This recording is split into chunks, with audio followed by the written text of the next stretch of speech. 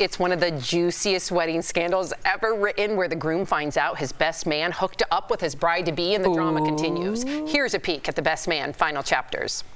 They want to make unfinished business into a movie. Say, say what now? Get your popcorn ready.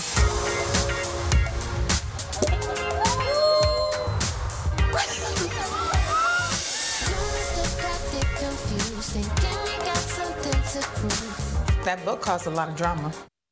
Ooh, we're so yes. excited to have filmmaker filmmaker Malcolm D. Lee here to catch us up on a new drama and the star-studded cast. Yes! Welcome to DBL, Malcolm.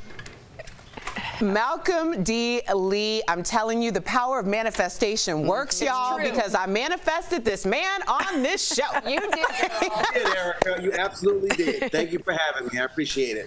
I appreciate you so much. So let's get started because aside from the stellar all-star black cast, what else made the Best Man movie a hit at the box office?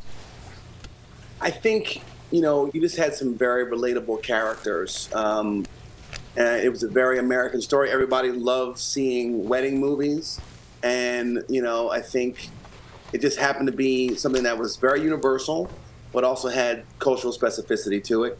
And I think that's what you know made an, an, a very starving audience very happy to see themselves represented on screen.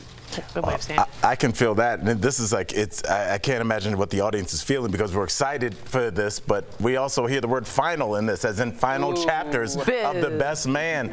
Please tell us this is not really the end for these college friends. We need more. Successful relationships. Okay, I won't tell you, but I mean, it's the title. the title, my man, you know, it's uh, it, it is final for a reason. Um, you know, I, I don't think I have many more or any more story to tell with these characters, and I think you know it's better to leave well enough alone. Mm-hmm. You know, you should you should go out on top and leave the people wanting more. Mm. Where were and you for season eight of Game of Thrones? Oh, it's yeah. terrible. Hashtag coffee cup. Remember that? Oh, God. My wife watches Game of Thrones. I've, I've never seen it. He has a lot I of self-possession. I know. Good for you. Good for you. I'm proud. He works. I know he does things unlike me, where I'm like, all right. Uh, I heard that Terrence Howard has said he is retiring, but on set, Morris Chestnut, who is good, wonderful, uh, told him not to. Have you spoken to Terrence about that? And Mr. Howard, I should say, not Terrence.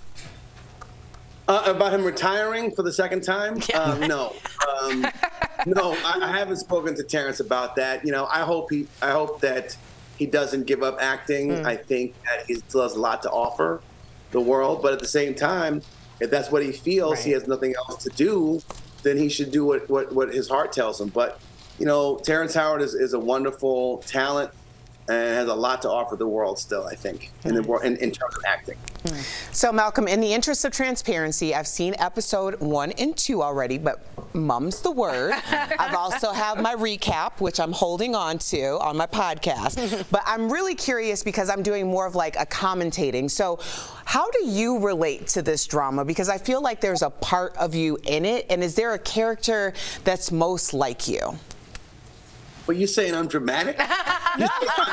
I drama. N never. Um, Erica Cobb, no, um, no. I'm I'm um, I'm in all these characters. You know, these these characters emanated from, from from my brain. They certainly came out of my own experiences, my own friendships. Um, you know, and I, I, you know, people ask me that all the time. Are you are you Harper? Are you? And I, I I find myself, yes, I do have Harper in me. I also have Jordan in me. You know, mm. I, hmm. I, had a lot of like, you know, I wouldn't say blind ambition, but ambition, you know, to um, you know keep elevating and like you know relationships took a back seat.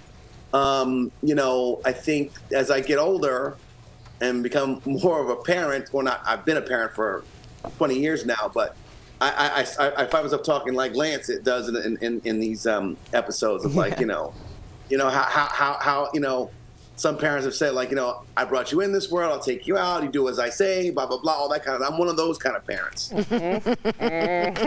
well, I'm Jordan. Erica can relate. Yep, I'm Team Jordan. Yeah.